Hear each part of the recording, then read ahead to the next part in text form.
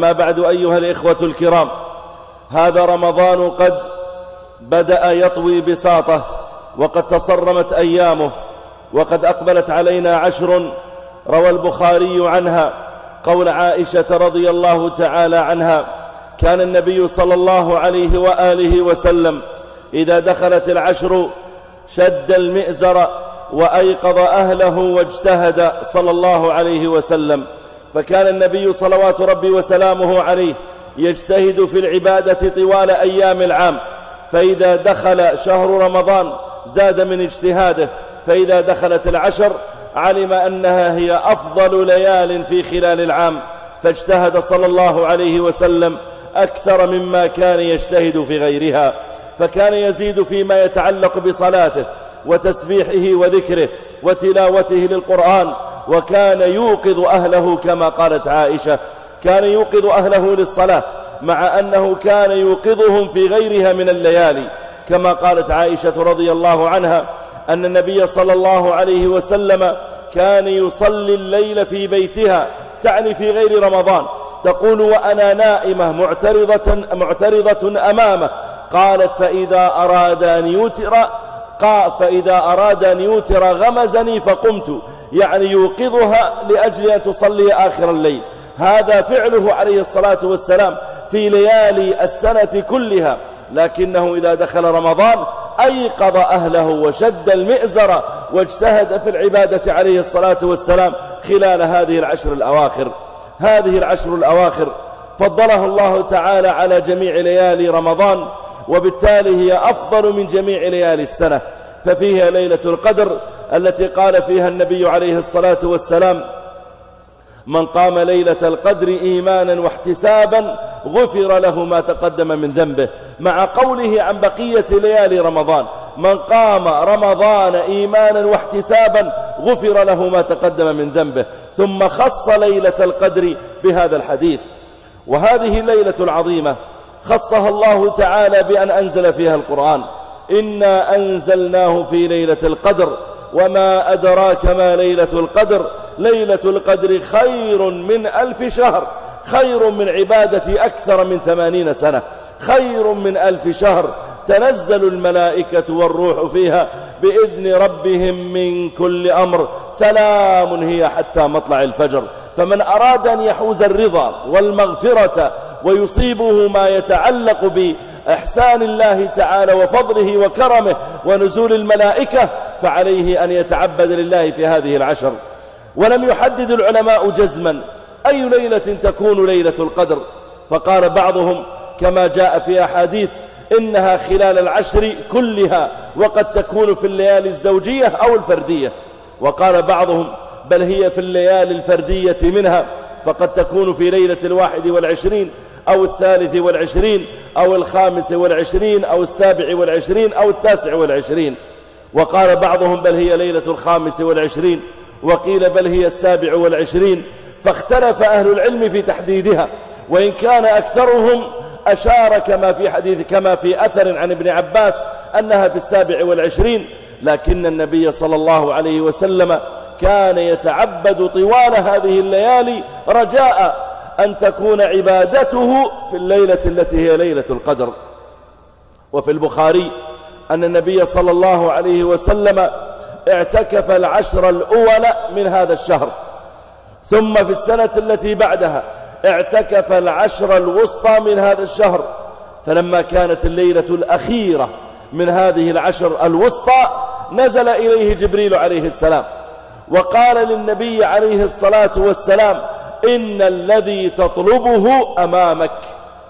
الليلة التي اعتكفت هذه العشر الوسطى لأجل أن تصيبها واعتكفت العشر الأول في السنة التي قبلها لأجل أن تصيبها إنك لم تصبها لا في العام الماضي ولا هذا العام إنها أمامك يعني ليلة القدر.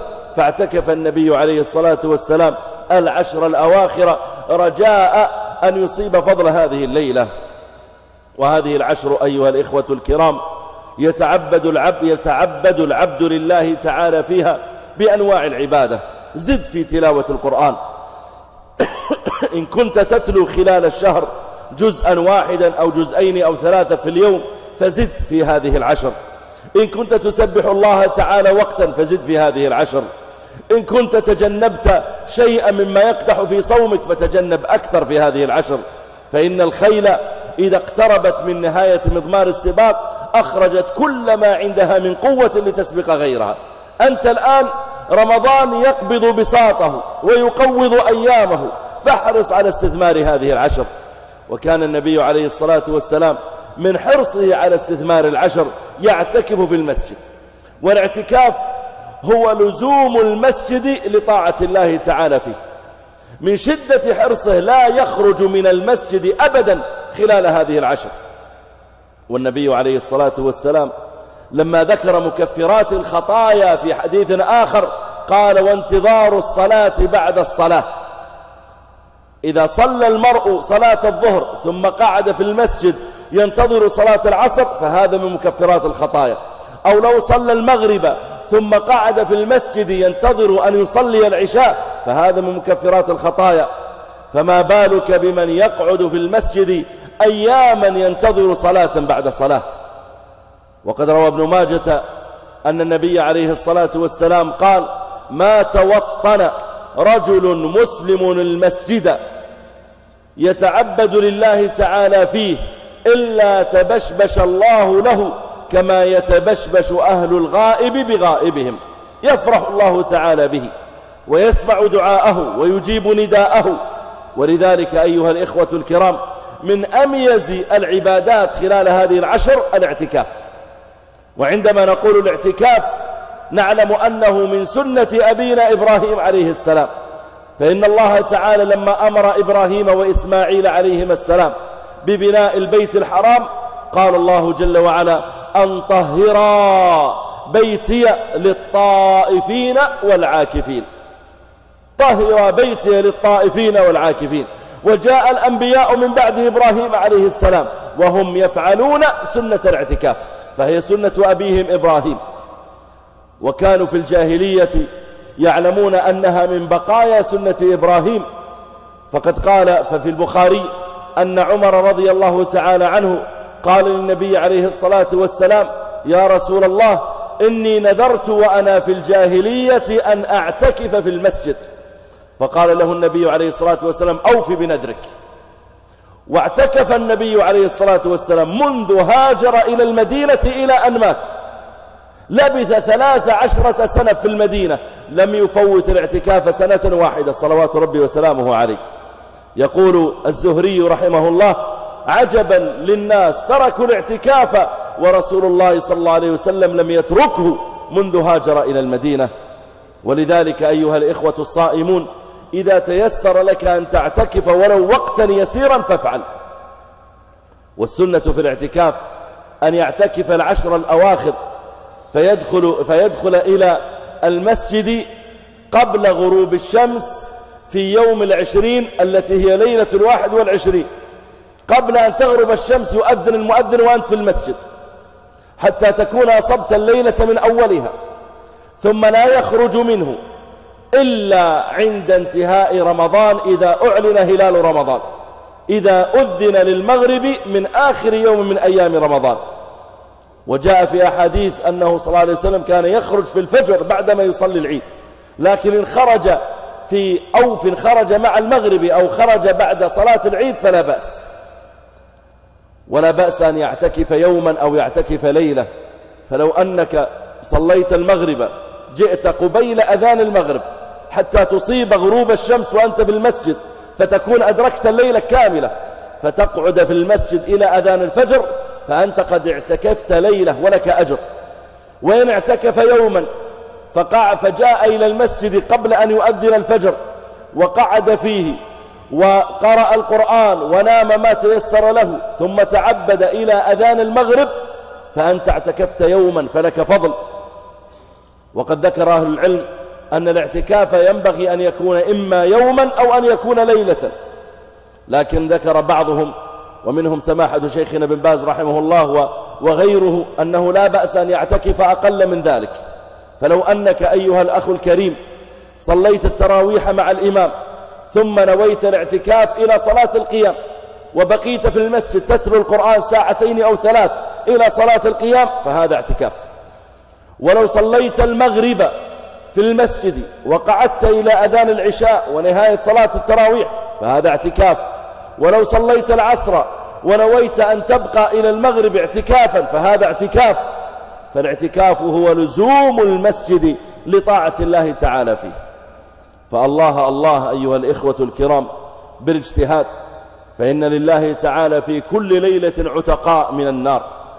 وخلال هذه العشر يعتق الغني الكريم سبحانه وتعالى صاحب الفضل والإحسان ينظر إلى عباده فيرى عبادتهم وتقربهم وبكاءهم بين يديه ورغبتهم فيما عنده وتأميلهم لفضله فيعتق الله تعالى رقابا من النار.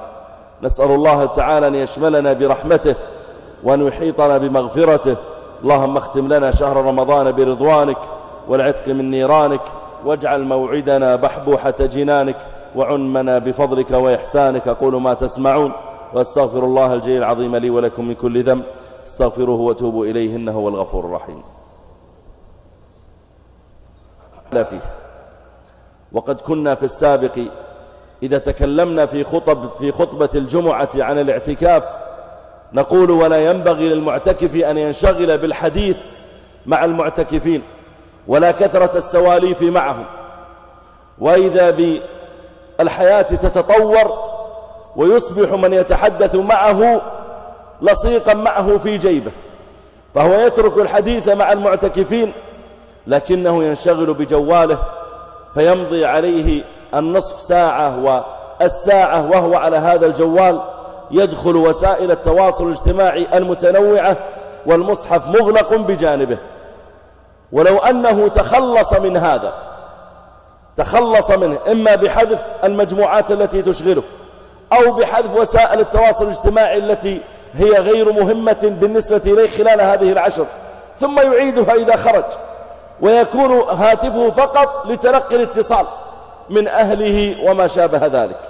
لو أن الإنسان جزم مع نفسه بهذا جزم مع نفسه بهذا وأصبح وقته منصرفا للدعاء والاستغفار والتسبيح والتحميد والتهليل وتلاوة القرآن وبدل أن يضيع منه الربع ساعة والنصف ساعة والأكثر يوميا في النظر إلى هذا الجوال أصبحت كل هذه الأوقات مسخرة للدعاء والعبادة فهو حري أن يكون ممن يغفر له مع آخر رمضان. فالله الله لمن اعتكف ألا يصرف وقته إلا في القربة والعبادة فإن الاعتكاف لزوم المسجد لطاعة الله تعالى فيه.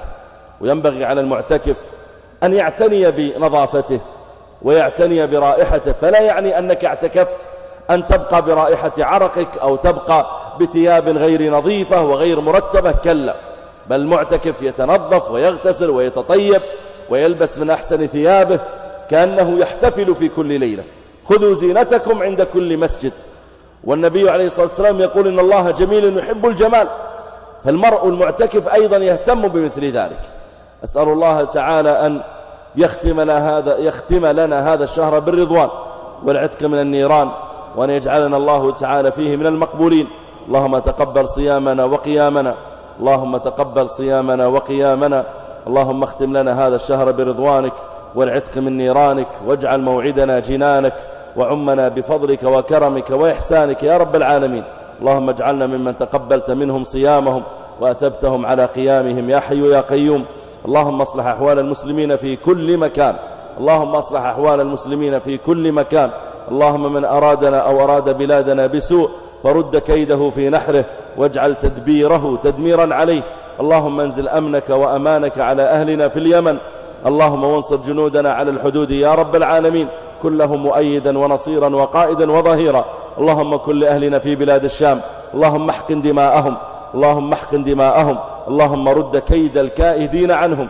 وكل أهلنا في فلسطين وفي كل أرض من أرضك يا رب العالمين يا حي يا قيوم.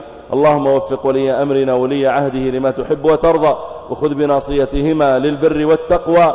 اللهم وفقهما لهداك واجعل عملهما في رضاك. وسائر ولاة أمور المسلمين يا رب العالمين.